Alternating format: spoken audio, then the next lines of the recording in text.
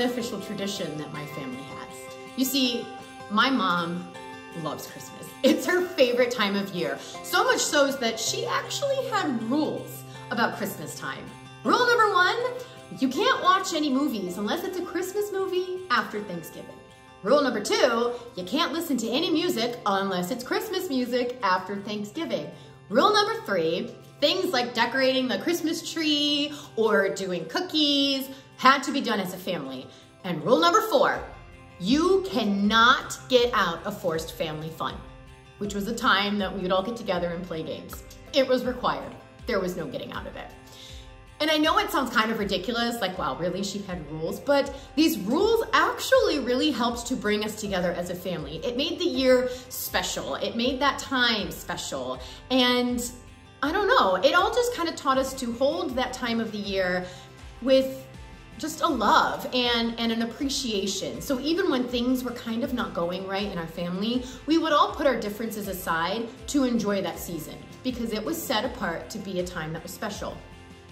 And the one thing that always happened, no matter what, never planned it, was never like, oh my goodness, we need to do this because we do it every year. It just happened, was our yearly Christmas performances. Yes, that's right. I had my debut way before in character, way before setting foot on any stage. My debut was in my mother's kitchen with a mixing spoon while making cookies. See, in our family, Performing is something that just happens.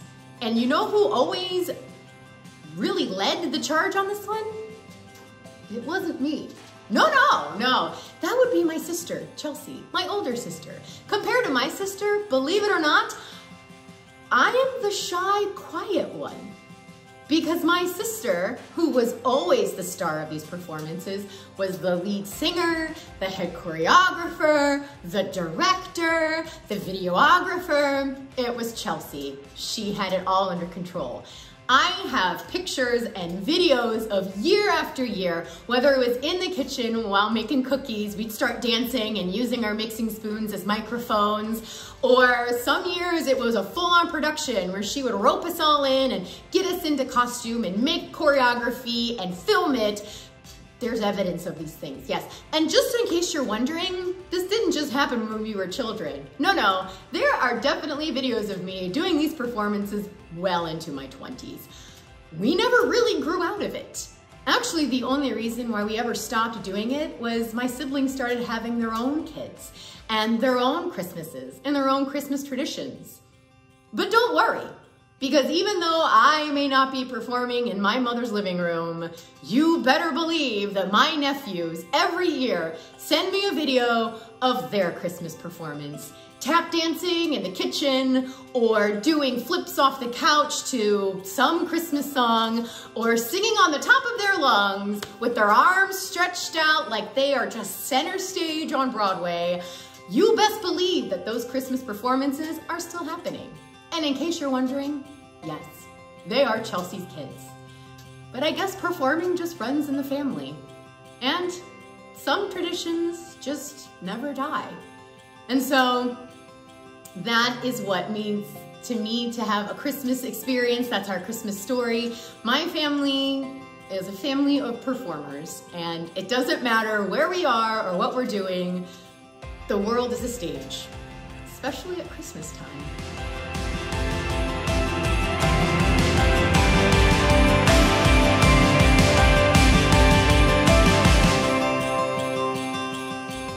Hey, we're the Washburns, and we're here to share with you our special Christmas memory that we hope that after you hear it, you'll be so mesmerized by the memory of our festivities that uh, it's just gonna be a blast.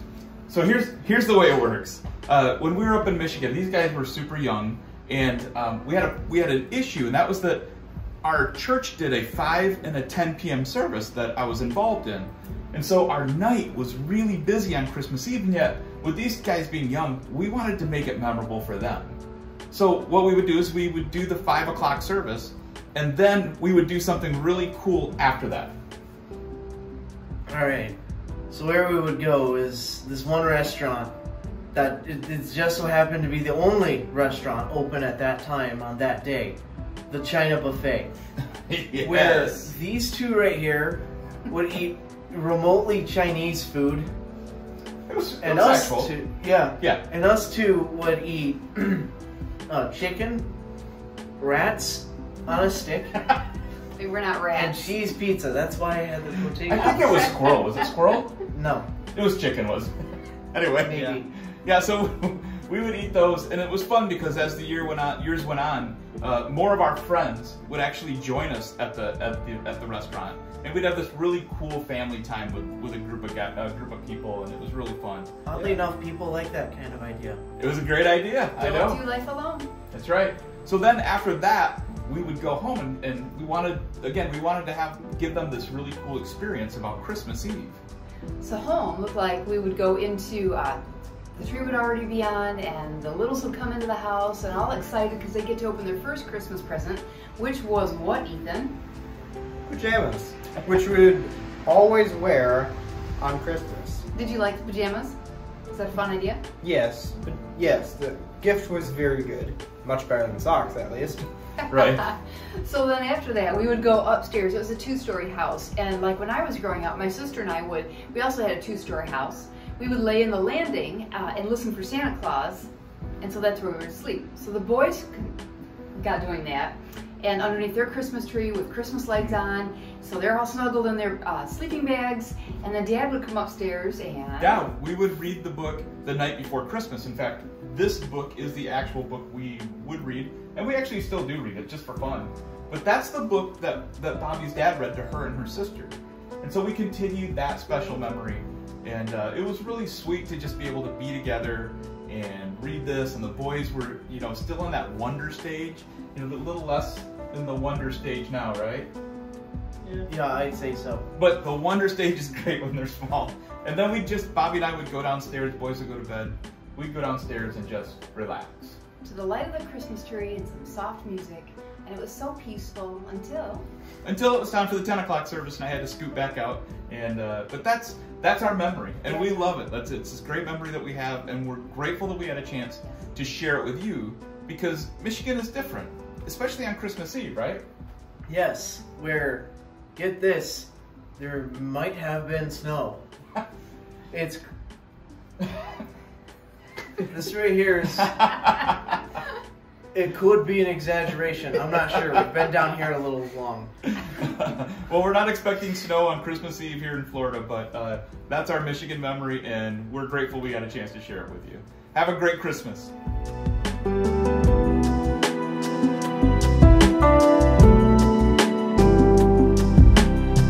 Good morning, everybody. And tell us someone right now, and I'm going to tell you for the first time in 2020, Merry Christmas. Tell them that.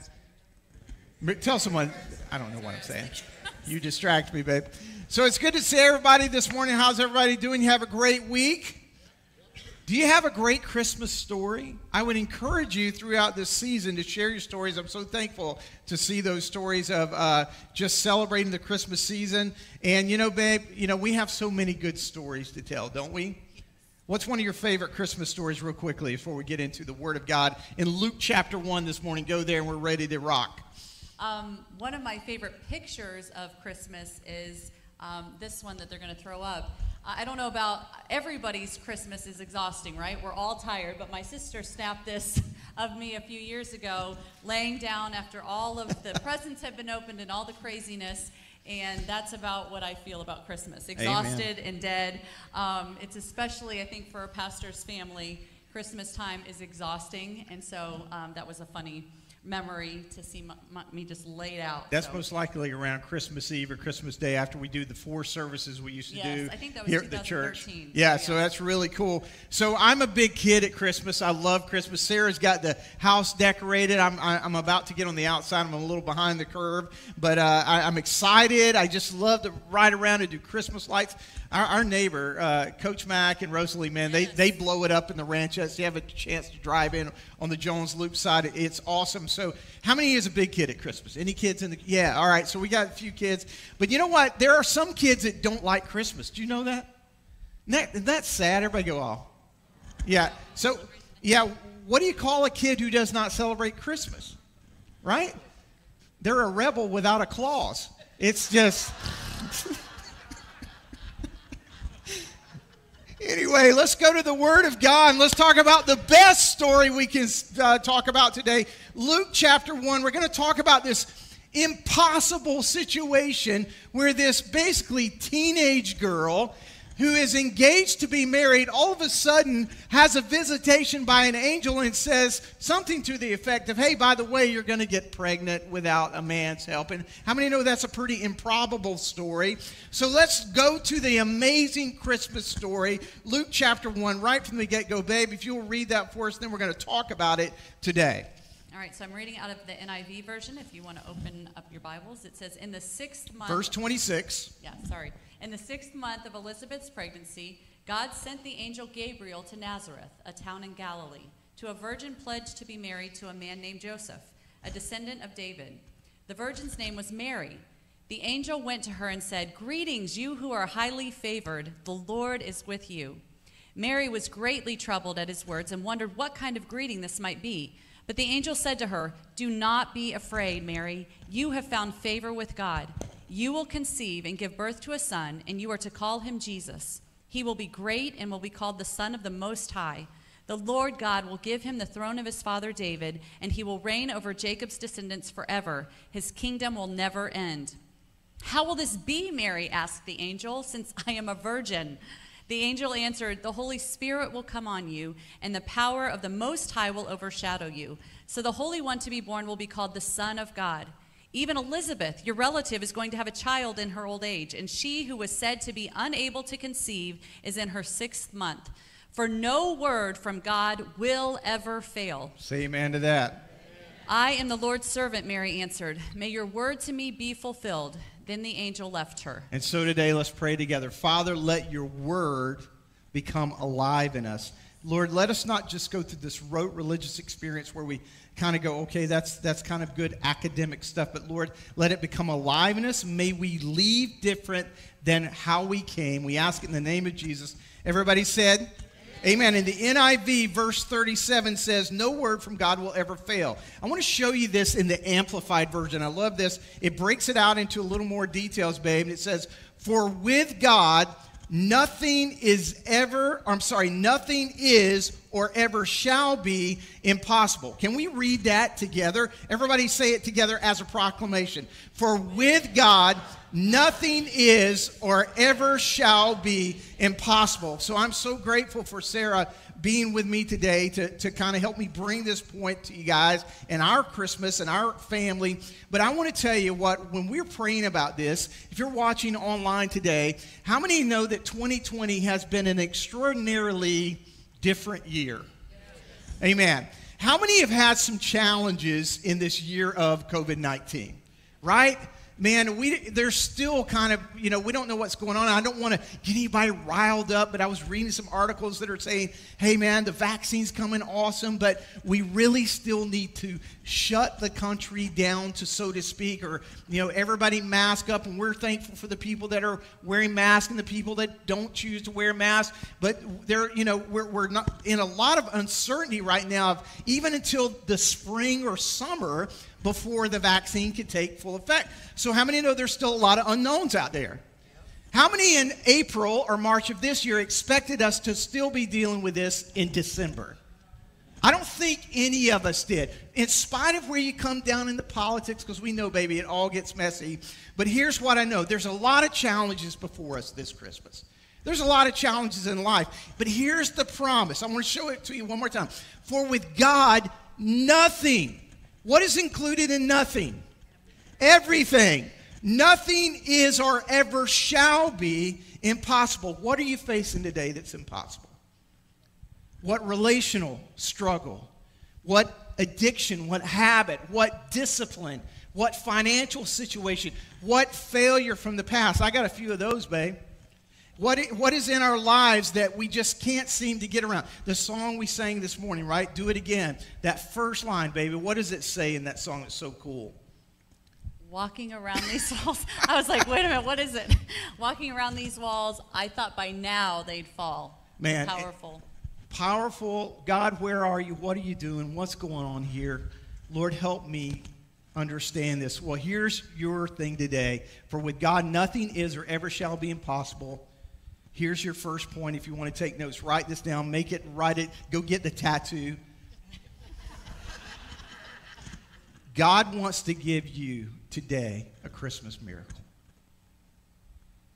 God wants to give you a Christmas miracle. Now you say, Steve, man, wait a minute. What is that? What is a miracle? Babe, what, how would you describe a miracle? What is a miracle? I describe it as something supernatural that Yeah. I can't do on my own.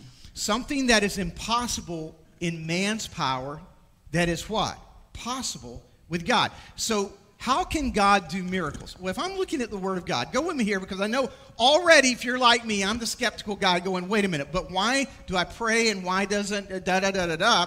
Here's what you need to know For with God, nothing is or ever shall be impossible. But sometimes God's answer and our miracle may not look exactly like we think it's going to look, right?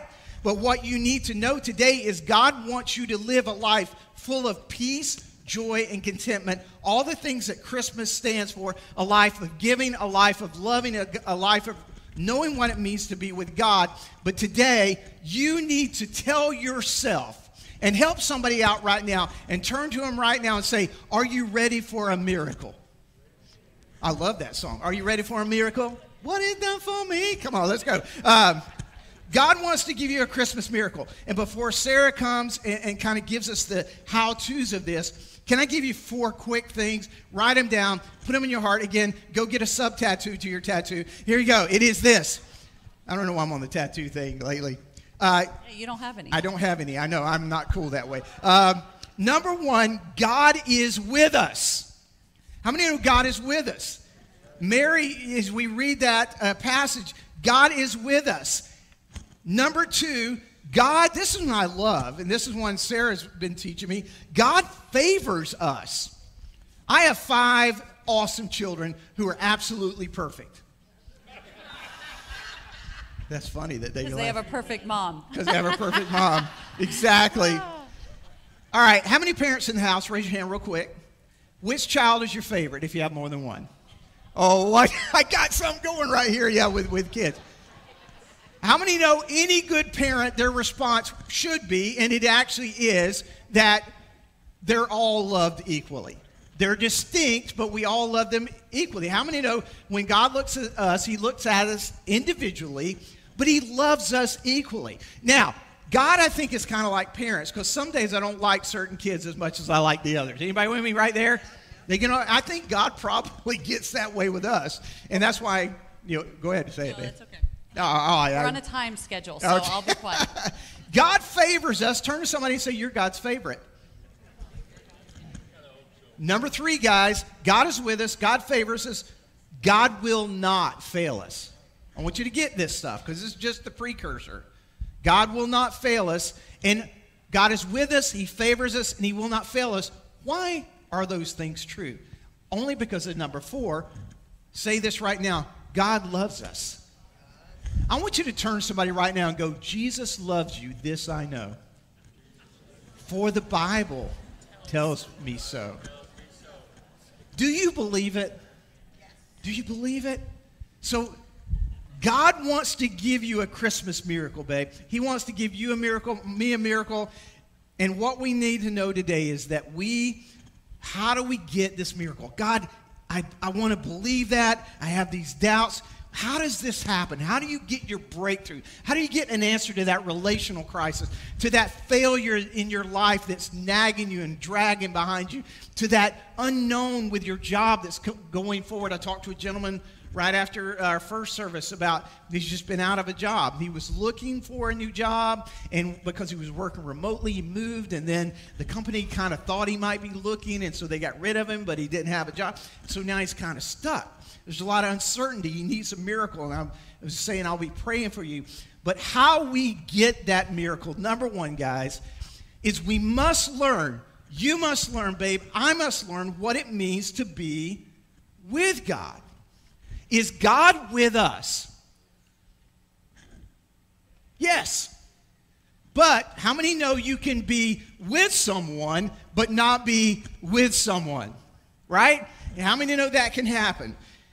What we understand is Emmanuel, Jesus, came to this planet in fleshly form. It's beautiful Christmas story. Then he lived a life that we are to pattern in love and giving. And then he went, baby, to the cross, died for us, rose again so that we can have the beauty of Christmas, of giving and of love. But we have to learn what it means to be with God. In any relationship, it is a giving of oneself by both people, right? If you're in love and married, how many know you can be, again, in a room with someone and not be with them, really with them? I remember a, a, a memory that is not good for me is my senior year in high school went to the homecoming dance right after the football game and i took a girl that i really liked she was beautiful she was sweet she, she, I didn't deserve to go to homecoming with her because when I took her to the homecoming dance, there was another girl there that I liked more. Somebody turn and go, Your pastor's a scumbag. And neither of those girls are me, so. Neither of those girls are you. No. No. And, and so here, here's, the, here's the crazy thing I was with this one girl there, but I wasn't with her. And I, and I really, at that point, I got to tell you, I didn't say this in the first service, but she, I forget what she said to me, but she had such tact and couth. She said something to me in parting that night that was so well said and so cut my legs off in terms of basically telling me I'm a scumbag, but doing it in the most respectful way, right? In, in how I acted. But here's what we know, guys oftentimes we say we're with God and we want the blessings of God, but we're thinking more about the other girl or the world than we are about God Himself. The Bible says and often refers to people that are not committed to Him as adulterers or cheaters. And the first thing I'm going to tell you if you want your miracle, you can't cheat on God. You got to learn what it means to be with Him, right, babe? Just like in a marriage. Absolutely. And the next thing we have to do is we have to learn to wait on God. Yeah. And uh, this is this is one that is challenging, right? Because who likes to wait? you guys are like crickets, It's crickets. I know we don't like to wait, especially we've learned that over the last year. Um, that COVID, we've been, I think it's like 37 weeks we've been doing um, the prayer time. We started that right after all of this happened and things kind of shut down. So we started this online prayer time on Facebook and Instagram. So I think it's like 37 weeks we've been doing it. So that's, you know, that's a while. But setting up this context of Mary's story, it had been about 400 years from the time that Malachi who was a prophet. Um, he had heard and was speaking for God. And um, it had been about 400 years since that time. And so now the angel Gabriel steps into this point in history. Um, and so, can you imagine 400 years? We've not quite been a year, and we are, you know, scraping, itching, can't wait to get back to normal, normal, right? So waiting is an issue. It's a big deal. And I think it's especially probably more of an issue now because we have microwaves and we have Amazon Prime mm. and we have all the things at our fingertips, drive-throughs. I do you know I I love picking up my groceries now. I don't even have to go in the store. I order them online and then I just drive up there and they bring them to me. It's it's awesome. Um, so, I mean, we have this idea of not waiting. So, learning to wait on God. And one of the things that I've just been thinking about, even as Steve spoke last week about um, thanks, Thanksgiving and learning to be thankful, everything in God's Word takes training. Yes. Do you know? I see uh, Bart sitting out here. He's a pilot, and so I looked this up last night. I think it's like 1,500 hours that you have to be in order to be a pilot. Is that right? Of flying it's time. A lot of training just to get your so 1500 hours just to get your your pilot's license and then you right? have to go through ongoing training after that correct yeah i was thinking about those who um, d- do um, ironman anybody crazy like that and do Ironman? I know we have them in our church. I am not one of them. I'm a good cheerleader for an Ironman. I watched my friend Jennifer Knox do an Ironman. It was amazing. I have to tell you, watching that dedication and that training that they do in order to do an Ironman is unbelievable, right? So, what I'm saying to you is to do something fantastic and unreal, like flying a plane, which I think is pretty awesome, or doing an Ironman, it takes tons of training. And yet we have this life, we have this, this gift from God that He has said, I have come after 400 years, I am finally bringing your awaited Messiah. And so He comes to Mary. Um, and, and so it's just this amazing thing, but we have this amazing story and gift from God to actually become sons and daughters of God, as Pastor James had said. Yeah. And yet we don't train for it. Mm. So there's a gift that's given to us, but if we don't train to learn how to live and, and walk in the gift, then we will never actually really grasp all that God has for us. And so this waiting portion is important. And so I think sometimes maybe you had a, a parent that made you wait just as a punishment. Anybody? Like they just waited to say yes or no because they wanted they just wanted to kind of punish you or they were whatever their reasoning is. Um, but that is not God's intention when right. He makes us wait. He has good reason for waiting. And so, do you know that we can waste our wait? Mm. I think a lot of us probably have done that in this period of waiting, is that we have just wasted our time. We've, we've lot, I've heard the COVID 15, and I'm not getting on anybody, okay? I'm not getting on you. I'm just saying this is something we got to train people gaining weight. We're sitting in front of Netflix, so we're binging. We're, we're feeding the emotional frustrations of what's happening that we are waiting and we're not getting what we want. And God says, I have something better for you. Mm. If you train your weight, if you train to wait on me, I have something beyond anything that you could ever imagine because in the waiting, we learn something powerful about who God is. So waiting is not passive. I think often we think we're just standing there. And we can do that, but we will waste the wait. So it's not passive. It's an act of service. Where do you think of when you hear the word wait on? What do you think of? Yeah, speak louder. Restaurant, right? Maybe you haven't been to one in a while, but um, that, yeah, that's what I think of too. Is that somebody's waiting on my table, right? They're serving me. So waiting on God is an act of service. Waiting is an act of silence sometimes. If you read back right before Mary's um, encounter with the angel Gabriel. Zacharias had an encounter with the angel Gabriel, and he didn't believe him. And right. so the angel shut him up. Yep. so sometimes in our waiting, we need to be quiet. There are lots of scriptures about that. In, in Psalm 62, it says that we will wait silently before the Lord. Waiting is an active trust, a dependence upon and obedience to the Lord. Waiting is an act of your will. Anybody ever try, tried to train your will? It's a lot of dang work right? It's a lot of work. Is that a word I'm allowed to say? Dang, yeah, yes, Mayor. Good. Okay. Waiting is an active focus. We'll bleep it out on the end. Okay, thank you. Waiting is an active focus. And so Psalm 130 says, or uh, uh, Isaiah 26 says that my eyes are fixed on you. When my heart is fixed on you, when my eyes are fixed on you, then I will be in perfect peace. Waiting on God is desiring Him more than desiring his action. And waiting on God is waiting for him to act. Right. So all of those things take training. And then we see it in verse 38. It says, Mary's response Behold, I am the servant of the Lord. May it be done to me according to your word. So she'd had the word from Gabriel, and now she has to wait, just like any pregnant woman has to do, right? We, we realize, oh, we take the pregnancy test. Oh, I'm pregnant. And now it takes nine months to have that baby. I think I see a, a beautiful pregnant mama back there. So there's this waiting that happens. And I love the, the correlation between waiting on God and the pregnancy because we are all pregnant with uh, potential that God puts yes. in us, but we have to wait on Him. And then we also must learn to walk with God. Amen. And this is this is something I love as well because walking with God requires action as well. And so you can go, well, waiting doesn't require action. I hope you've seen that, yes, there is active waiting, but then walking, actually walking by faith, you are obeying Him, you are walking in His ways. Obedience is actually what makes the impossible possible. Because in Hebrews 11 6, it says, but without faith, it is impossible to walk with God and please Him.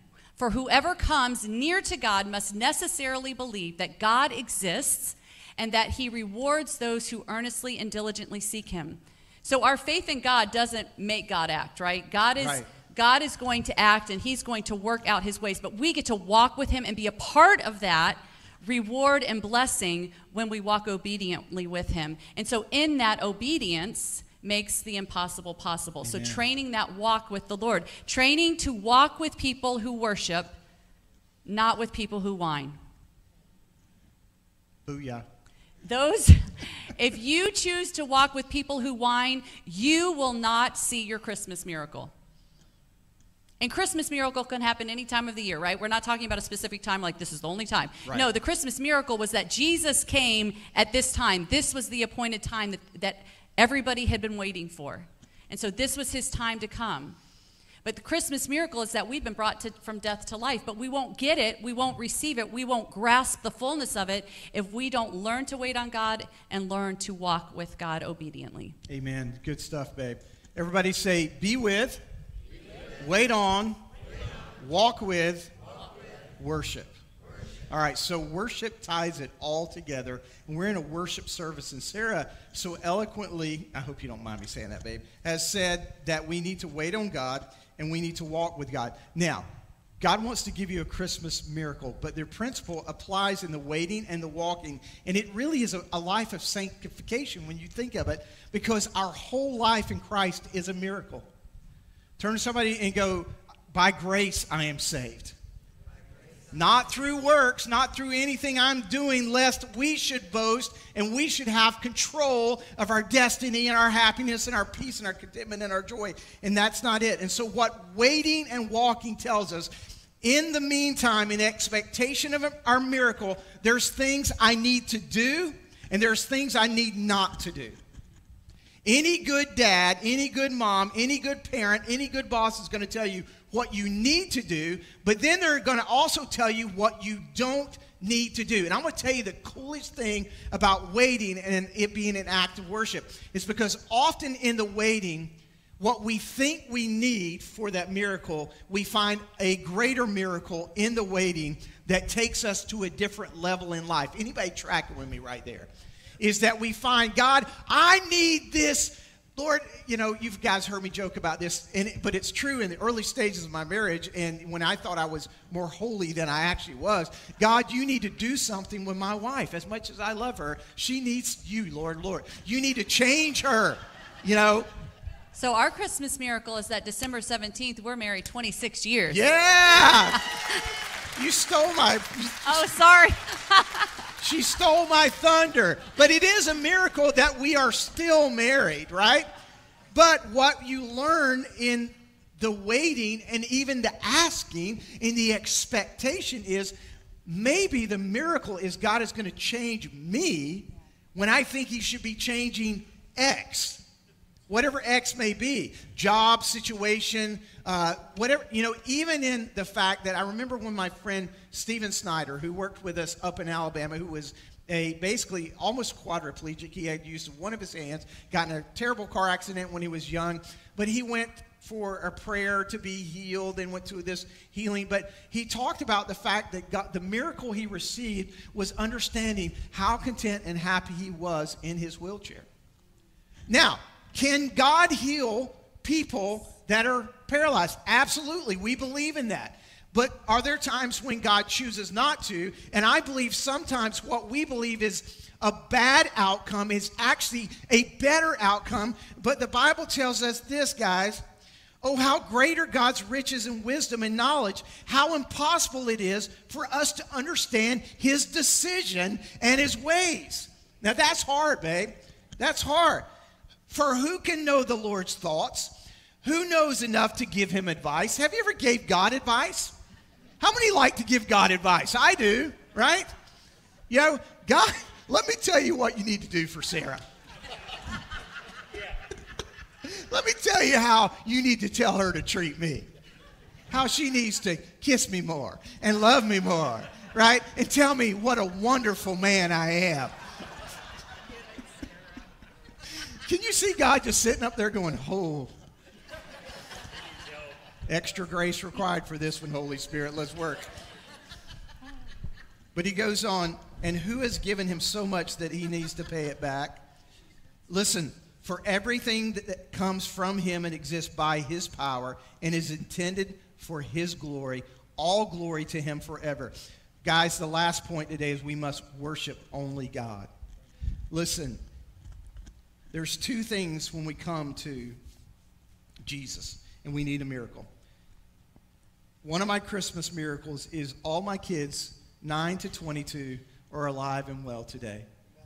And I'm thankful. That's a miracle. There, I've had critical times. If you're a parent, you know you're going to go through times where there's going to be accidents and illnesses. And, you know, Tyler has a, a, a chronic illness that, you know, you just walk through that. And Tyler has epilepsy. And there's this story about an epileptic child. And the father brought the boy to Jesus. And Jesus asked the boy, uh, the father, boy's father, how long has he been like this? And he said, from childhood. He answered, he says, it's often thrown him to fire or water to kill him. He said, now watch this, but if you can do anything, Jesus, take pity on us and help us. You notice he didn't say, Jesus, I want you to heal this guy now. He said, watch this. If you can do anything, Jesus, to help us, help us navigate this, give us wisdom. He didn't demand a thing. He's just said, Jesus, I need your help. And what you need, if you need a miracle today, this should be your prayer. God, I know you can do anything.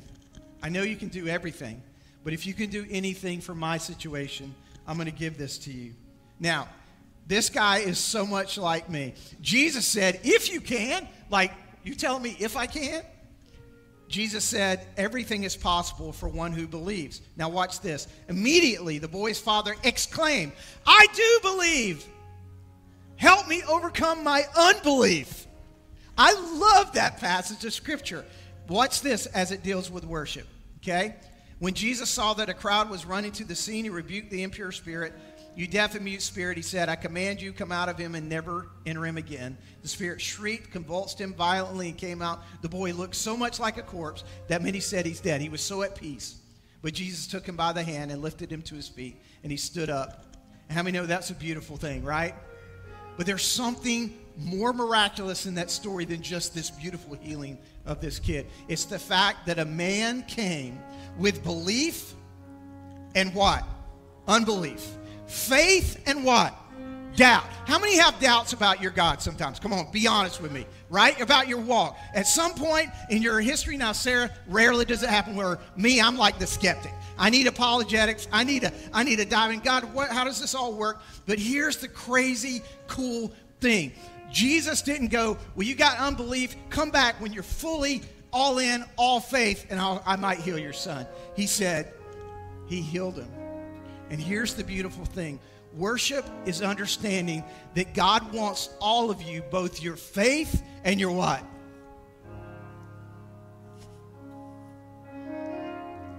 Hear me today.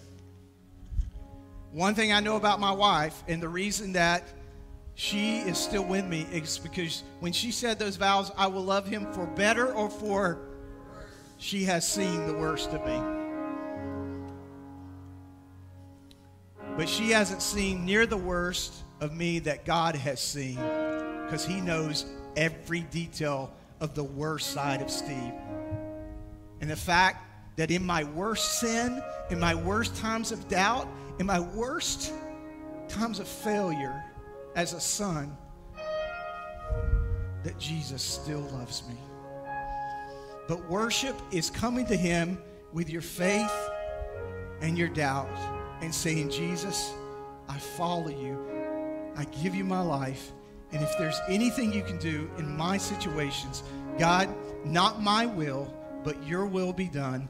To God be the glory for the things He has done, He is doing, and He will do, and in your life. And I'm going to tell you, that realization of God and His glory is the greatest Christmas miracle anybody in this place can get. It's it. That's it. But without faith, it is impossible to walk with God and please Him. For whoever comes near to God must necessarily believe that God exists and that He rewards those who earnestly and diligently seek Him.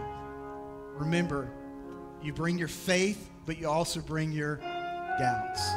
He wants all of you, baby, all of you. So let's pray together at this time.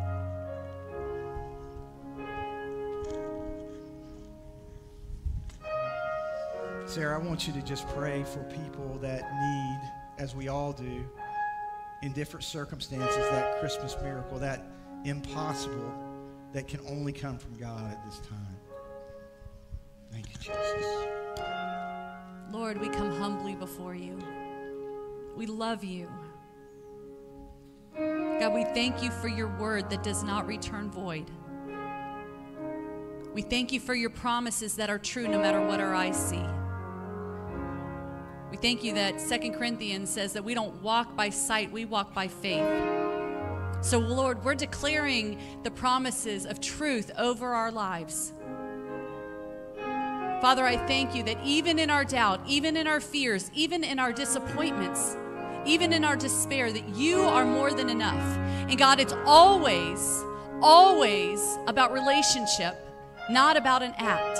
And so, God, I pray that you'd get our hearts there. You said you'd give us the desires of our hearts, but what happens when we wait on you, when we walk with you, and when we learn to worship you in spite of things that are going on? God, that you change our hearts, you change our desires. God, that obedience with you, walking with you daily, relationship with you changes everything. And so, Lord, even as I look out at faces today, knowing my own story, knowing things that have happened in my own family, knowing about people and disappointments and heartaches, God, I thank you that you don't diminish the pain of walking in this life. You have felt every pain, every fear, every heartache, every grief. So, Lord, we don't diminish what is happening in people's lives. We don't diminish the grief that happens as we walk out this earthly time. But God, as Hebrews 11 shows us, that even when we don't have our miracle on earth the way we expect it, that we're waiting for a country that's far better. We're waiting for something that we cannot even imagine. Our eyes are fixed on the spiritual realm of what's happening. So do that in our hearts today, Lord. Work in us in a miracle way that we can't explain. Because the truth is is that being brought from death to life, salvation of our souls from a time that we would no doubt be in hell, and you sent your son Jesus into the messiest of stables, into the messiest of situations, in the most unexplainable way. You're going to do that for us. And that miracle can never be topped. So, Lord, we wait on you and we do ask. I just keep hearing for us as we were preparing that we don't stop asking. Don't stop asking. If you are despairing right now, if you're like, I've just given up, Elizabeth and Zacharias in the story in Luke 1, right before Mary's encounter with Gabriel, they had given up, really. They were old. There's no way they could have a baby but God. And so if you've been waiting, keep asking. I feel the Holy Spirit saying, keep asking. Don't give up. Don't despair. Wait on Him, walk with Him, and worship Him because He loves you and He sees you. We praise you and we thank you for who you are, Lord. There is no one, no one, no one like you. In Jesus' precious and holy name we pray. Amen. Amen. Can you turn to someone right now and say, Are you ready for a miracle? I want to say, I want to say thank you this morning while Davey come up, Davey. I want to say thank you to God for giving me my earthly miracle December 17th, 26 years ago. My wife said yes to me. Yes. Now, yeah. And we have been the most perfect couple on the planet. It is, it is truly a miracle watch what God has done through us. And I want to say this before Davey comes. The greatest miracle, the greatest relationship, though, was when I started my relationship with Jesus Christ. And I'm so thankful that Jesus is first in my wife's life. Jesus is first in my life. And if you put Jesus first, He will make this and all of this so much better. If you don't have a relationship with Jesus, today is the day. Don't put it off. It is the greatest miracle you will ever experience in your life. If you want to know more about that, you can ask any of our team, and we would love to take you through how that happened. God bless you. Love you guys. David, you're up. Thanks. Thanks. All right. Give him a round of applause.